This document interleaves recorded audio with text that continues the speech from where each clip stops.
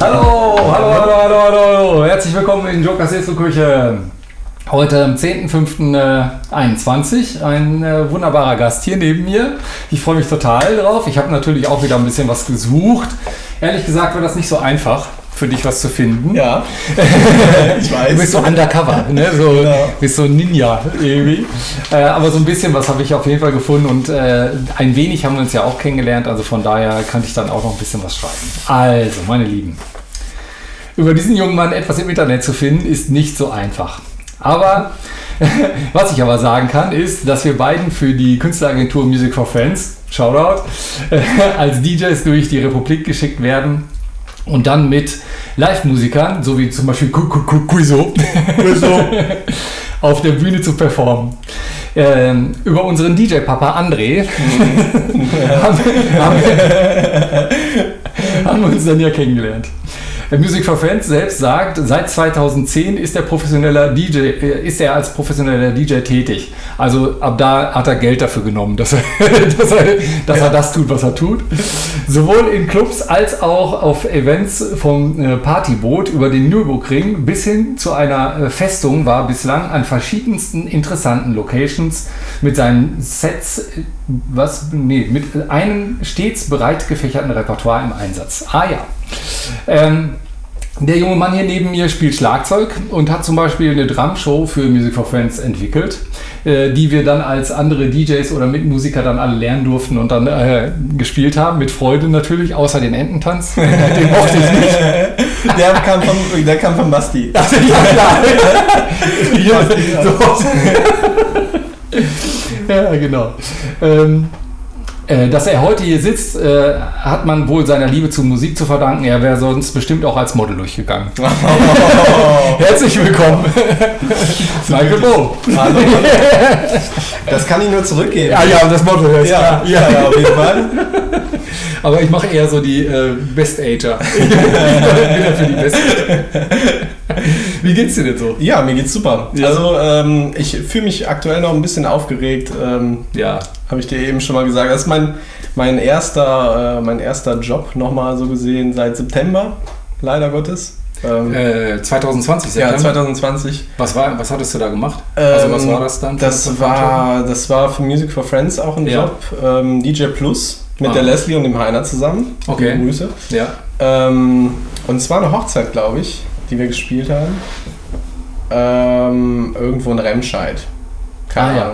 Ich glaube, das war ja auch die Zeit, wo man gerade noch Hochzeiten machen durfte. Ja, ne? genau. Ich weiß, dass ich auch mal irgendwie in, im August, da war das mit diesen 150 Leuten und die mussten dann aber trotzdem alle mhm. dann hygienemäßig dann, ne, genau. War das bei euch dann auch so, dass es am Anfang noch so, alle wussten noch nicht so genau, ob man sich irgendwie berühren darf und nachher war dann eh wieder ja,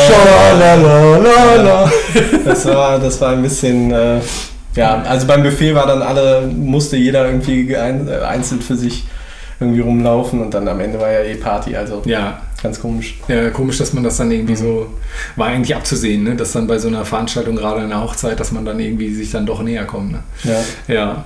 Ja, wie ich eben schon gesagt habe, haben wir uns ja über Musik for Friends kennengelernt. Ähm, und äh, eigentlich haben wir es ja auch dieser wunderbaren Zeit zu verdanken, dass wir jetzt hier auch mal nebeneinander sitzen können. Ich weiß ja. nämlich, dass ich immer gedacht habe, ey, Boah, ich möchte gerne mal mit äh, Michael unbedingt auflegen, weil ich, ich, glaube, das wird bestimmt richtig spaßig, weil mhm. immer wenn wir uns mal ausgetauscht haben über Musik, dann hat das eigentlich immer einen großen gemeinsamen Nenner gehabt. Also ja. ich hatte immer das Gefühl so, ja, also natürlich komme ich aus einer anderen Ecke und du kommst auch aus, aus einer anderen Ecke und so, aber äh, ich glaube, dass wir schon viele Stücke halt auch gleich feiern und so, ne? Und ähm, das fand ich echt immer richtig spannend und äh, irgendwie wollte ich eigentlich mal, du hattest glaube ich einen Steady-Gig immer donnerstags oder so in Köln oder ja, so? so unter anderem ja. Hm? Ja, und irgendwie habe ich immer gedacht, so, oh, irgendwann muss ich da mal einen Donnerstag hin und vielleicht kann ich ja dann irgendwo bei äh, irgendjemandem da schlafen oder so und äh, so. Aber wie das dann so ist, ne? wenn du dann am Freitag und am äh, Samstag dann noch einen Job hast oder mhm. so oder ich habe donnerstags eigentlich auch immer die Probe von den Querschlägern gehabt und so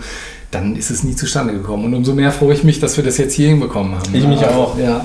Erstmal schöne Grüße hier an äh, Chris, natürlich. Hallo, Chris von äh, der wunderbaren Sendung Turntable Sprezzatura. Ein äh, tolles Ding auf hier das AT zu hören. Also müsst ihr unbedingt mal reinhören.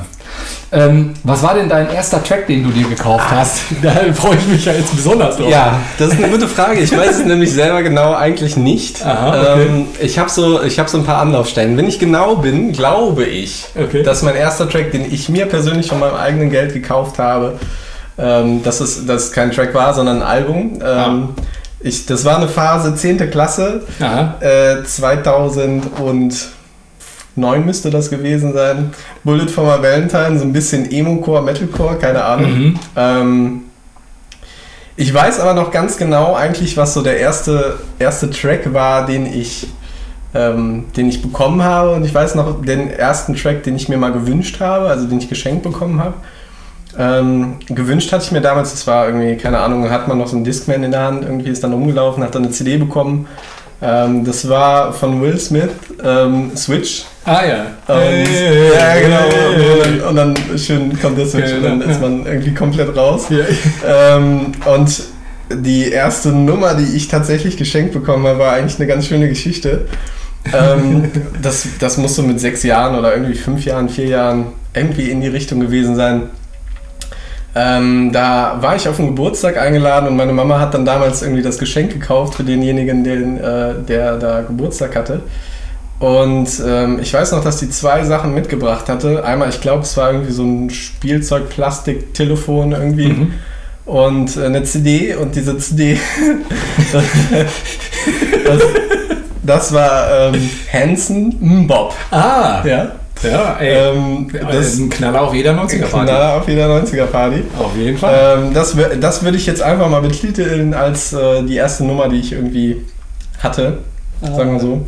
Oh Mann, ich sehe schon, komm, äh, Kevin ist am Start. Moin, Kevin. Ja, geil. Und so natürlich.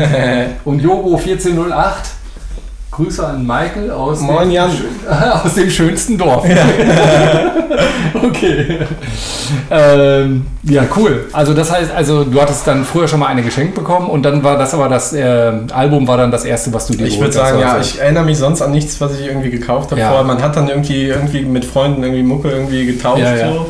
Ich meine, jetzt ist das ja nicht unbedingt, ich meine, obwohl Bullet for My Valentine hatten die mal irgendwie so einen richtigen Radio-Hit? Nee. Also nicht, ich wüsste, keine Ahnung. Wie bist du damals auf diese Musik gekommen? Boah, Freunde. Also das war im Prinzip Sind das so Freunde, die einzeln... nee, ähm, sagen wir so, also in der Phase war das so, wo jeder mit so einer ja, Justin ja, Bieber Frisur rumlief. Ah, ne? okay. Und das alle so, alle so ein bisschen, ich war's, also ich hatte zwar auch so eine Frisur, aber ich war jetzt nicht so emo-mäßig unterwegs, ja. ich war Skater eher. Ah, ja, okay. Ich war so ein Skater. Ähm, und da hat man irgendwie so Metalcore und so gehört ja. und dann unter anderem halt auch so softere Sachen, ja. würde ich mal sagen, wie sowas. Ja. Und ähm, ich weiß noch, dass ich mir das irgendwie da, dass ich dafür extra, ich, die, die muss unwahrscheinlich scheiße gewesen sein, dieses Album, weil ich kann mich an nichts mehr erinnern oh. davon. Aber wahrscheinlich, ähm, wenn du es jetzt hörst, würde es nochmal, da würde was passieren wahrscheinlich. Ich weiß es nicht. Ach, glaube ich schon. Ja? ja? Ich weiß noch nicht mal, wo ich die habe. auf Spotify hast du die. Ja, ich glaube, auf dem Nachhauseweg. Da ja, genau, guck mal, was da passiert. Ja, genau. Also, äh, ich kann nur sagen, ich habe meine erste äh, Kassette von meinem Papa geschenkt bekommen. Äh, und das kann ich mich noch sehr gut daran erinnern, weil das war dann so ein Heiligtum, weil ich hatte nicht an, also keine andere Musik so. Mhm. Und das war Alan Parsons Project, das Album iRobot. Und ähm, das war natürlich nicht meine Musik, aber sie wurde zu meiner Musik, weil ich die einfach rauf und runter gehört habe. Also es war immer, immer wieder, ich hatte mhm. halt nur diese eine Kassette, dann hat man sie wieder umgedreht und dann hast du sie wieder gehört. Ne? Und äh, da passiert bei mir jetzt immer noch was. Wenn ich die höre, dann passiert was. Also ja. das ist so eine schöne Erinnerung. Also mhm. es war echt richtig gut. Ähm, dann hast du Bullet for My Valentine als Zehnjähriger ungefähr. Nee, nicht Zehnjähriger, das war. Zehnte Klasse, Entschuldigung, zehnte Klasse, zehnte Klasse, Entschuldigung. Und ähm, jetzt habe ich dich ja auch angekündigt, Schlagzeug. Hast du dann damals auch äh, in Bands gespielt oder so? Oder hast du dann auch so eine Musik gemacht? Ähm, ich hatte zu dem Zeitpunkt, glaube ich, nicht mehr. Das war noch ein bisschen davor, hatte ich eine Band. Ähm, mhm. Die hieß äh, Beautiful Disaster. äh, war es auch. äh, Sagt mehr Disaster als Ihr sagt alle so gut aus. Ja. Ähm, und ja, wir haben da eigentlich nur so, so, so Cover-Sachen gespielt, ähm, aber auch nicht unbedingt moderne Sachen. Ähm, was haben wir denn gespielt? Obwohl doch zu der Zeitpunkt, zu dem Zeit war das, glaube ich, dann modern, irgendwie so Kelly Clarkson oder irgendwie sowas. Ah, okay. Ähm, kann ich mich noch daran erinnern. Ähm, ansonsten keine Ahnung. weiß ich, weiß ich schon gar nicht mehr, was wir da alles gemacht haben. Also wie gesagt, Covermucke, ganz mhm. viel. Ja. Und ähm, dann ähm, hast du, also wie bist du weiter musikalisch so beeinflusst worden? Waren deine Eltern irgendwie sehr musikalisch? Ähm, ja, also mein, mein Papa ist ähm, Trompeter mhm. oder war Trompeter, hat viel Trompete gespielt früher, auch sehr erfolgreich eigentlich. Und ähm, von dem habe ich, denke ich mal, so das musikalische äh, Ding irgendwie. Ja, ja. Und ähm, ja, es war eigentlich im Prinzip so, dass, dass, ähm, also dass, dass, dass ich da so wahrscheinlich so eher die Sachen jetzt so mit, mitkriege oder jetzt erst eigentlich entwickle, ähm, die auch er wahrscheinlich so früher ein bisschen mehr gehört hat, ähm, so in die Richtung. Und äh, auch das mehr irgendwie schätzen kann. Ähm, und ansonsten hat sich halt über die, wie, wie man so pubertiert halt, ne? irgendwie über die Schullaufzeit hat sich bei mir viel entwickelt. Irgendwie, ich habe, glaube ich, angefangen, weil meine Schwestern, also ich habe zwei Schwestern, mhm. ähm, die haben halt. Älter oder jünger? Älter, okay. beide älter. Das heißt, von denen habe ich irgendwie so alles ja, mitbekommen ja, und dann war das irgendwie so, keine Ahnung, Christina Aguilera oder so, was, man dann, was man dann geil findet. So. und ähm, daraus hat sich dann im Prinzip so entwickelt, dass man mit den Freunden dann irgendwie äh, in die Hip-Hop-Schiene kam, dann bin ich irgendwie ins Metal abgerutscht, dann äh, zum Abi irgendwie war ich dann mehr so auf Haus und dann so irgendwie danach hat sich so ein bisschen die Liebe für so Latin Music irgendwie entwickelt und jetzt gerade fühle ich mich so ein bisschen ins Funkige rein. Mhm. Und äh, ich habe irgendwie. Da kann ich dir helfen. Ja. ich bin gerne bereit, dir da noch unter die Arme zu greifen. Das nehme ich gerne. nee, also so irgendwie gefühlt in zwei Jahren mit Rhythmus hat sich das irgendwie so ein bisschen bei mir entwickelt, dass ich irgendwie so zwei Jahre so bei einem Genre war und dann ist das Alte nicht weg gewesen. Ja, ja, ja. Es kommt was Neues dazu. Genau, ja. Das ist interessant. Weil ich finde, ähm, dass ja, das merke ich ja selber, dass ja die Musik, man entdeckt ja immer wieder viele neue Sachen oder auch komplett alte Sachen oder so. Jetzt gerade nochmal muss ich äh, hier Chris ähm, zitieren, wir, der haben, die haben diese Turntable Sprezzatura, ist so eine Sendung, die machen die einmal im Monat und äh, das sind Chris und Roberto, die haben eine, das sind beides halt ähm, äh, Plattensammler. Mhm. Also ähm, Sie selbst bezeichnen sich nicht als DJs, obwohl ich sage, die sind auf jeden Fall mhm. DJs, aber ähm, die, die äh, sind so tief in dieser Vinyl-Fraktion äh, drin und halt nur, die spielen halt auch nur Vinyl und so. Und die hatten jetzt auch in dem letzten Mix war eine Nummer von der Band Brigitte äh, und irgendwas mit dem Goldfisch. Total, total geil. Irgendwie so, ich glaub, vermute mal 70er Jahre, oder Chris? Musst du mal sagen hier. Oh, oh, Benny ist am Start und Smooth, hey, und Leslie habe ich eben gesehen. Ähm, naja, auf jeden Fall ist das, finde ich, immer, man entdeckt neue Sachen, die aber vielleicht auch ganz alt sind. Ne? Mhm. Und äh, deswegen ist das bei mir auch immer irgendwie wie eine, eine Entwicklung. Also es geht immer irgendwie weiter. Und äh, was du jetzt eben gesagt hast, das finde ich ganz cool, dass ähm, man vielleicht ähm, was man am Anfang noch gar nicht so wahrgenommen hat, die Musik von früher irgendwie anders auf den Schirm kommt. Ne? Also, mhm. Also, dass du jetzt auf einmal die Musik von deinem Papa vielleicht anders hörst. Ja ne, als äh, noch vor Jahren oder so. Ne? Und äh, wann hast du denn das erste Mal professionell aufgelegt? Und wie also, ist es also dazu gekommen? Also wie bist du denn DJ geworden?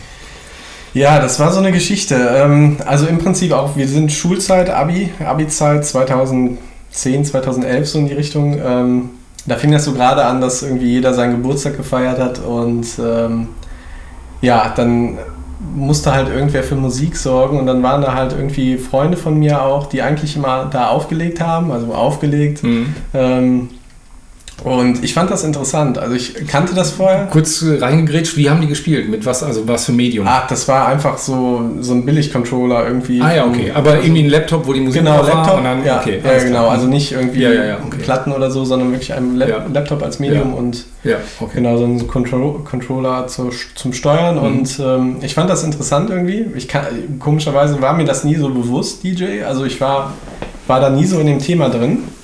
Und ähm, fand das halt so geil, dass ich irgendwie dachte, boah, irgendwie, keine Ahnung, ich gucke mir das jetzt mal ein bisschen an. Und dann ich, äh, bin ich bei den nächsten Geburtstagen, bin ich dann immer hin und habe mal irgendwie geschaut, was diese machen. Mhm. Und dann war für mich irgendwie schnell klar, ich möchte irgendwie einfach das auch mal probieren. Und habe mir dann schnell irgendwie Equipment gekauft und für mich so ein bisschen angefangen. Ähm, und dann ging das eigentlich relativ schnell. Also ich hatte dann ähm, Kontakt zu meinem späteren oder zu dem, zu dem, zu meinem so gesehen meinem DJ-Mentor, dem mhm. Pablo. Mhm. Ähm, und ähm, der hat mich dann halt ganz schnell irgendwie, also ich habe ihm, hab, über meinen Papa habe ich ihn kennengelernt und äh, weil mein Papa meinte, ja komm hier, äh, du hast jetzt so lange irgendwie für dich gemacht, frag mal den Pablo, der nimmt dich bestimmt mal mit. So. Und ähm, ja, ich war so, okay, äh, ja, ich frage ihn mal und habe Pablo gefragt und Pablo meinte, ja komm mal mit, ich nehme dich mal mit. Dann sind wir in die Clubs gegangen und dann ähm, hat er mir so ein bisschen gezeigt, hat mich auch selber dann auflegen lassen. Mhm. Und dann war irgendwie schnell klar, dass, dass er irgendwie so schaut, dass ich irgendwie so vorankomme in der, in der Szene, dass ich irgendwie, dass ich irgendwie Jobs bekomme. Ähm, und ja, das hat dann auch schnell funktioniert. Also es ging dann so, dass, dass er irgendwann meinte, ey, sorry, kann heute, geht einfach nicht, ich kann nicht, du musst übernehmen. Und dann war ich so, ähm, alles klar, mache ich. So, also das ja. ging dann ab ins kalte Wasser und dann hat es funktioniert und von da an ging das dann halt echt schnell. Dann hat sich irgendwie eins aufs andere, auf, aufs andere, man lernt irgendwie neue Leute kennen, connected und dann ist man irgendwie in, mhm. in der nächsten Szene drin und dann schwuppdiwupp. War das auf jeden Fall ein ziemlicher ja. Multiplikator dann, ne? Ja. Pablo in dem Fall. Ne? Absolut. Ne? Ja, ja. Vielen Dank, Pablo. Ja, ja. Ich glaube, es braucht, man braucht manchmal auch immer irgendwie so ein Quäntchen Glück, braucht man mhm. auf jeden Fall, aber ja. natürlich auch den Bock und die Leidenschaft, das ist immer wichtig, aber manchmal sind es eben auch so äh, manche Leute, die dann eben zur richtigen Zeit an der richtigen Stelle sind und so. Ne? Das ist schon geil. Ja. ja. Und ähm, ja, genauso bist du ja dann bei Music for Friends auch äh, mit reingekommen und so. Genau. Äh, war denn aber vorher, hattest du schon mal quasi wirklich einen gebuchten Gig. So, jetzt ja. okay, da mhm. ähm, jetzt waren das dann auch eher Club-Gigs oder waren das auch Privatsachen? Nee, das war, war, das war also da es, es fing quasi über diese Privatschiene an. Ja.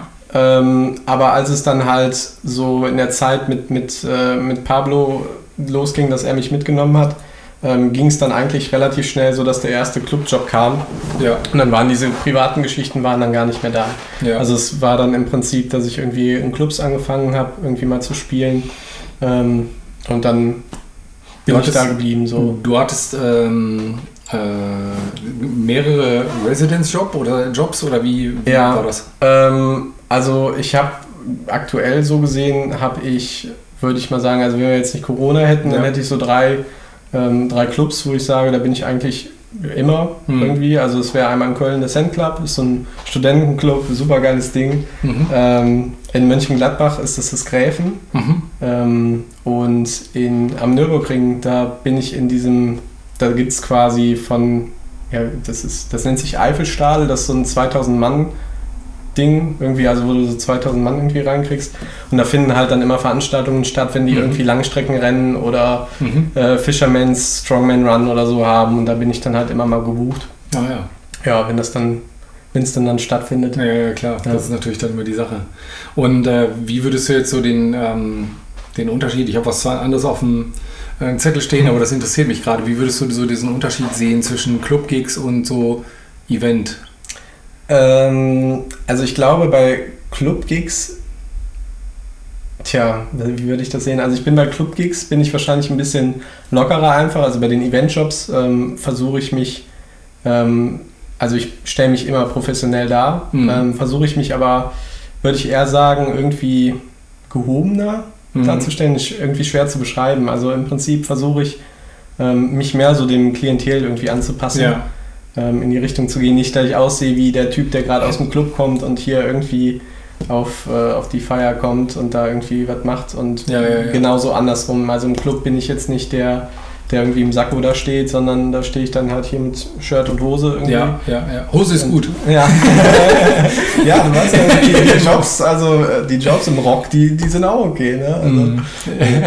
nee, also ähm, generell, also ich gucke dann halt irgendwie, ich weiß nicht, also für mich, was war die Frage? Wie du das so unterscheiden würdest. So. Also ich finde auch, dass die Event äh, und Club ist auf jeden Fall nochmal eine Sache und auch privat ist auch nochmal eine Sache.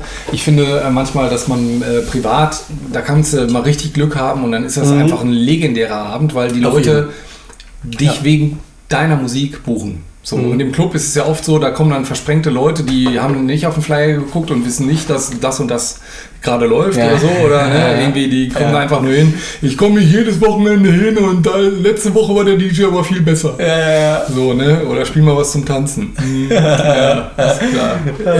ja, ja. ja, gut, also okay, jetzt weiß ich noch einen Unterschied. Also im, im Club habe ich äh, eine andere Haut, würde ich mal sagen. Also da, da würde ich, würd ich mich ähm, schon anders verhalten. Also im, äh, bei Events oder so bin ich ähm, anders dann zu den Leuten im Endeffekt. Also wenn mich im Club jemand irgendwie doof anlabert zum fünften Mal, mhm. ähm, dann ist irgendwann halt auch der Punkt erreicht, wo man sagt, jetzt können wir mal irgendwie gucken, dass man irgendwie anders spricht. So, also ähm, ja, das Klientel ist anders. Es ja. kommt auch immer auf die Locations an, irgendwie, ja. wo man spielt. Ähm, ja. Hat man irgendwie mal coole Leute, mal schlechte. Es gibt genügend Stories irgendwie, wo man denkt, dass die Leute tatsächlich cool sind und äh, dann spielt man ein Lied nicht ja. und dann ist man, dann ist man nur noch das Arsch. Ja, ja, so, klar. Und dann denkt man sich, was bist du eigentlich für ein Trottel? Ja, ja. Ähm, ja, ja, das gibt es echt so viele Geschichten. Vielleicht kommen wir gleich noch auf eine. Ähm, du hast jetzt wahrscheinlich dann, also ich habe mir eine, eine Frage ähm, noch aufgeschrieben, mit welchen Medien du bisher gespielt hast, aber wenn du ähm, äh, mit CDs hast du dann gar nicht angesprochen, ne? Du hast ja dann im Grunde direkt mit dem Controller ich, gespielt? Ja, genau. Oder? Okay. Also ich würde sagen, ich, äh, also doch, ich habe mit CDs, habe ich doch so gesehen, habe ich angefangen. Ähm, ich hatte so ein komisches Ding von Newmark irgendwie, wo man so zwei CDs irgendwie rein ja. und nur so ein Fader irgendwie, wo mehr Ach, so ein All-in-One-Ding? Ja, ja, genau. Ja, ja, ja. Und äh, damit habe ich angefangen, aber das war halt relativ schnell die Zeit vorbei, so dann neues Equipment gekauft. Und ähm, also mit echten Platten, also nicht so wie wir das jetzt nachher ja, machen, quasi mit so, einem, mit so einem Timecode, sondern mit echten Platten habe ich auch noch nie aufgelegt eigentlich. Ah ja.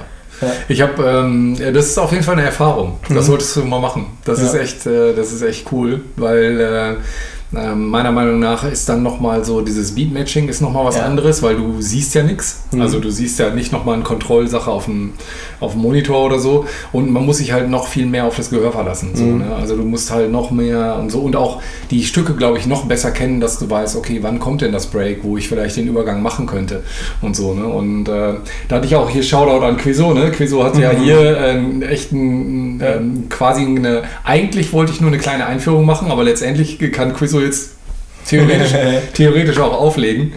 Äh, und am nächsten Tag war, hatten wir dann noch die Chance und dann haben wir ein bisschen eine Vinyl-Session gemacht und so. Und äh, das ist, ist nochmal ein anderer Schnack. Also mhm. da muss man echt nochmal ja. anders äh, drauf sein. Und dann kann die ja auch noch springen. Verdammt. Ja. Ne? Genau. Ähm, ähm, welche Clubs hast du jetzt nochmal äh, aufgelegt? Also das waren diese drei auf jeden mhm, Fall. Genau. Und äh, was ist das Gräf? Gräfen. Ähm, das ja. ist im Prinzip ja das ist eigentlich so ein, eigentlich glaube ich, der größte Club irgendwie, den Mönchengladbach hat. Okay. Ähm, und das ist, ja, wie soll man das beschreiben? Ähm, weil ich habe nämlich äh, das natürlich auch im hm. Internet mal recherchiert und dann irgendwo tauchst du auch auf, so, ne? Ja, ja. Äh, ne? Also da, da sind hin und wieder sind da mal irgendwie. Äh, da war Rafik so, so nämlich auch mal da. Genau, ne? war da, genau, ja. Disco Boys waren da. Genau, da gibt es auch ein Foto von dir. Ja, genau, da habe ich. Eins von den wenigen Bildern, wenn man, wenn man nicht mal sieht. Genau, ja. nee, da habe ich das, äh, habe ich quasi vor und danach gespielt. Ah ja, ähm, okay. Also da gab es immer mal so, so, so, so, Events, wo dann halt irgendwie ein paar namhaftere DJs irgendwie gebucht wurden. Ja. Ähm, und ja, ansonsten ist das eigentlich auch überwiegend ähm, viel so, so, so Standardprogramm. Mhm. Also irgendwie Hip-Hop-Abende oder ja. Elektro-Abende oder so. Ja. Ähm, was wäre dir lieber? Motto-Party oder ein Open Format? Äh, Open Format? Ähm, Open Format, ja. Ja. Und als Gast? Also einmal als DJ und als Gast. Also als DJ Open Forward, als Gast. Ich glaube, da würde ich eher Motto, Motto nehmen. Ja, dass man irgendwie sagt, okay, ich weiß, wo ich heute ja, hingehe. Genau. So, weil da spielt gerade heute. Ja, da weiß ich, weiß, weiß ich was kommt. Nur, nur Haus oder genau. irgendwie so. Ja, ja okay. Ja. Ich finde es auch mit dem Open Format eigentlich für mich irgendwie persönlich immer am spannendsten und im Nachhinein ärgere ich mich dann doch, dass man dann doch nicht so viel abdecken kann wie, oder nicht abgedeckt hat, wie man wollte. Und da bin ich manchmal auch einfach zu äh, ängstlich. Mhm. Ne, Gerade ähm, im, im Club-Kontext, wenn man dann irgendwie sieht, okay, jetzt tanzen meinetwegen 20 Leute und dann soll das ja nicht weniger werden. So, mhm. ne? Also im kleinen Club oder so, ne, hast du da ein paar Leute und dann soll das nicht weniger werden. Und da ist man manchmal dann ein bisschen schissig, obwohl man vielleicht denkt, so, oh, die Nummer ist gerade so geil, die muss ich eigentlich spielen. Mhm. So, ne? Und ähm, naja, aber was so eigentlich so mein Motto ist, ist immer so, dass ich wenigstens ein, an so einem Abend verteilt wenigstens so ein paar Lieder für mich, nur ja, für mich. Ja, ja, so, ne? Und dann packe ich die da so rein und entweder manchmal feiern sie es und manchmal eben auch nicht und dann ist das irgendwie so, ja. Ja, das Gute ist, man baut sich dann im Prinzip eigentlich so darum, man, man baut das so dahin, die Stimmung ist geil und dann schaut man, dass man in die geile Stimmung irgendwie seine Nummer noch reinschiebt und wenn die nicht klappt, dann schiebt man halt einfach ja, die nächste geile Nummer hinterher, irgendwie so, dass es, dass es passt genau. und dann ist, der, genau. der Fehler auch. Da gibt es eine schöne Geschichte von Sean Baker, der war ja auch schon mal hier. Hallo Sean, wenn du zuschaust, super geil, äh, dass er manchmal das auch anmoderiert hat. Sean hat halt generell kein Problem mit dem Mikrofon. Mhm. So, ne? Und er hat dann gesagt hat so, ey, hier, die Nummer, die ist total geil, die müsst jetzt alle tanzen. So ungefähr. geil. Also, ne? Und er hat dann auch noch so einen englischen Akzent, so also, und dann äh, lustigerweise, wenn so eine Nummer so anmoderiert wird, dann äh, hat die auf jeden Fall, funktioniert die. Ne? Mhm. Also, oder funktioniert die besser, weil die, da kommt dann aus England Sean Baker angereist und äh, oder ne, der wohnt jetzt zwar in Deutschland, aber das ist echt lustig, dass die Leute dann noch mal so, ah, okay, dann ist die wohl gut. Ja, ja. so, ne, dann, dann, muss ich jetzt wohl tanzen. echt krass. Naja. Und ähm, was meinst du, ist ein DJ ein Dienstleister? Ja, das ist eine doofe Frage. Also ich, ich finde, so gesehen ist ein DJ ein Dienstleister, ja solange er ähm, nicht, also solange er nicht irgendwie anfängt rauszustechen mit irgendwelchen Merkmalen oder so, also sei es irgendwie die Art und Weise, wie er auflegt, was er auflegt oder so, würde ich sagen, ist er erstmal Dienstleister und danach ist er Künstler, aber das ist halt so eine Schwelle irgendwie, hm. keine Ahnung, die kann man, würde ich sagen, kann man nicht definieren. Ähm, ich glaube, ich sehe mich selber irgendwie als beides hm. irgendwo. Hm. Ähm, ganz normal als Dienstleister, weil ich halt die Jobs spiele ähm, und mich ja quasi im Prinzip nach dem Wunsch richte, den der Betreiber irgendwie des mhm. Clubs irgendwie hat oder nicht. Und äh, aber trotzdem als Künstler, weil ich halt trotzdem so ja. mal einen reindrücke, so was, was dann so mein Style ist. Ja, ja, ja. Ich glaube, das ist ja letztendlich auch das, was, ähm, äh, was man ja, wofür man ja zum einen wird man meinetwegen für einen Hip-Hop-Abend gebucht, mhm. dann ist es klar, dass man da nicht 70er ja. Jahre Disco spielt. So, ne? Das heißt, von daher muss man ja eine Leistung erbringen. So, also, mhm. ne? Aber wie man diese Leistung erbringt, das ist ja dann immer noch die künstlerische Freiheit. Ja. So, ne? Mhm. Also das finde ich auch. Ähm, aber diese Diskussion habe ich ja schon so oft geführt und äh, ich finde es aber trotzdem immer interessant, auch äh, das zu sehen. Ich, lustigerweise mit Sascha Podday haben wir ja auch, mhm. die, da war ich ja mit der Disco-Küche auf Tour in Wuppertal und so und der war nach, nach der nach der Dreiviertelstunde, die er dann gespielt hat, war er ähm, gedanklich auch ziemlich angestrengt, weil er gemerkt hat, so, boah, ey, mhm. dann immer zu genau zu wissen, okay, jetzt kommt die nächste Nummer, äh, wie mache ich das, wo, wo gehe ich dann nochmal rein, äh, so und so. Der hat sich natürlich auch die Mühe gemacht und wollte die Mixe machen, genauso wie Leslie oder Quizzo mhm. und äh, so. Also Leute, die noch nie irgendwie eigentlich vorher aufgelegt haben. Ne? Aber ähm, deswegen ist das natürlich schon auch eine, eine Anstrengung, so, aber ähm, irgendwie auch eine Dienstleistung. Ich bin da auch immer so ein bisschen hin und her gerissen. Also das ist auch für mich.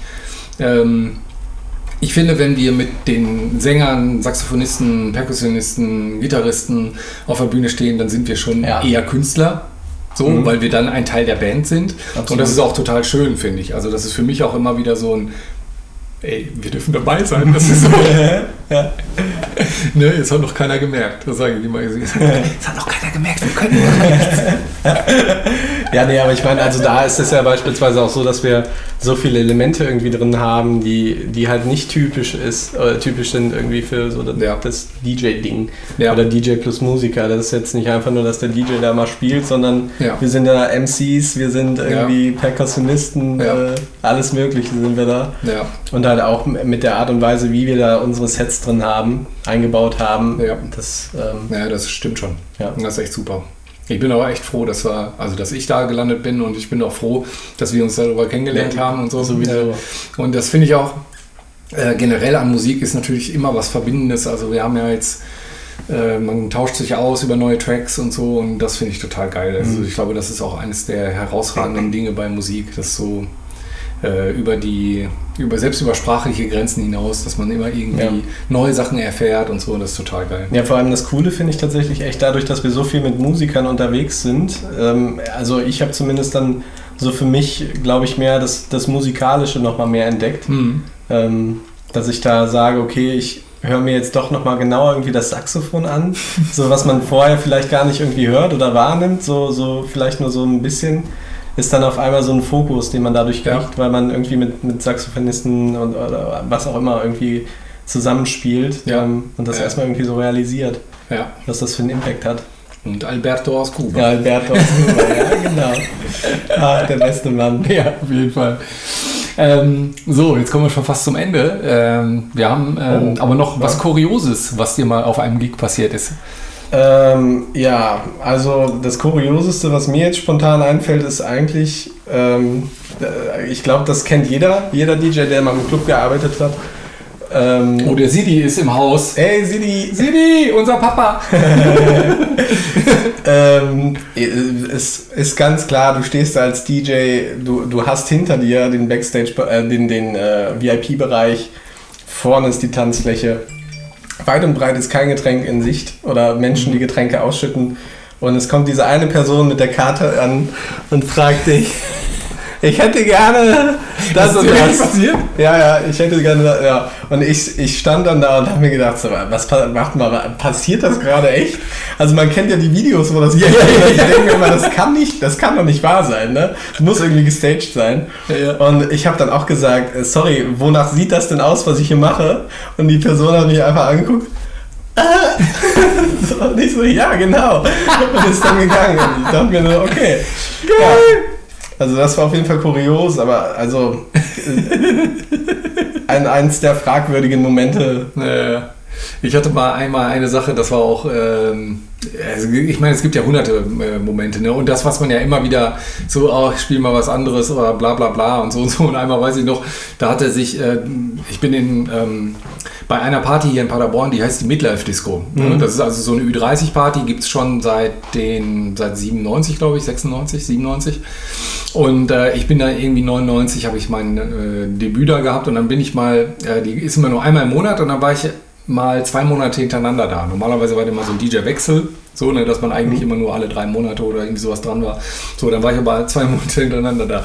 Und dann ähm, äh, kommt eine Frau so ähm, zu mir und so weiter, so, ah, gut, dass du da bist oder so. Also letztes, letztes Mal war ja ein ganz doofer DJ da, aber schön, dass du jetzt da bist. ich so gedacht, ja, ja, nee, ist klar. Ja. so. Aber ich glaube, man muss echt auch so ein gewisses äh, dickes Fell entwickeln dafür. Ja, ja, auf jeden also, Fall. Also viel mit Humor nehmen einfach vor allem. Ich glaube, sonst, äh, sonst kommt man da nicht durch. Also, ja, ja. Ja, das ist dann. Ich glaube, das ist auch eine Sache, das müsste man hier für alle Leute, die nochmal einen kleinen DJ-Workshop machen, ähm, das müsste man eigentlich diesen Nervfaktor, den, ja, ja. den muss man normalerweise Sehr auch noch gut. üben, dass man die ganze Zeit immer einen neben einen hat, der so, äh, das ist voll scheiße, spiel mal was anderes, ich habe mir vor drei Monaten das gewünscht. Ja, genau. Oh, das müsste man eigentlich auch noch üben. Ja, ja das Doch, stimmt. Das, das gehört dazu, das gehört zur DJ-Ausbildung dazu. Ja, ja, auf jeden Fall. So, was äh, dürfen wir denn musikalisch so von dir erwarten heute? Ja, ich dachte, ähm, ich mache mal ein bisschen, äh, ich mache mich mal so ein bisschen breiter unterwegs. Ähm, wir hören auf jeden Fall ein bisschen Hip-Hop, RB. Mhm. Machen so einen Schwenk über so ein bisschen Reggaeton mhm. und Dancehall, Latin Soul, Boomerton. Irgendwie ja, nicht zu so viel, alles so ein bisschen. Mhm. Und äh, landen dann irgendwie noch bei, bei ein bisschen House Music. Mhm. So, dass wir, dass wir die, die Rutsche mal so ein bisschen mitgenommen haben.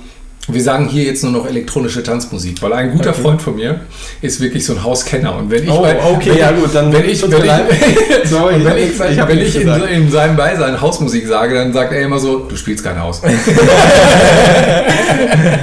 also wir spielen elektronische Tanzmusik. Alles das ist alles, ja. so. Wunderbar. Mikkel, ich freue mich total. Wir schalten um, bleib dran.